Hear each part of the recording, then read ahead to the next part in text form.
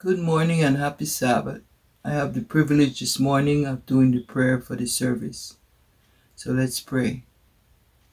Father in heaven, as we come before you this morning, we want to thank you and praise you, Lord, for all that you are and all that you do for us. We thank you this morning for waking us up and to bring us here this morning. We ask, dear Lord, that you keep us, that you help us to hold on to you, to stay close to you, dear Lord, in this time, especially in this time that we are so separated from each other. Help us not to separate ourselves from you. We ask, dear Lord, that you bless this um, the pastor this morning as he bring the message to us.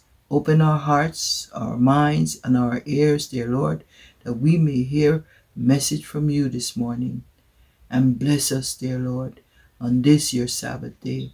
We thank you, we praise you, and we give you honor in the name of Jesus. Amen.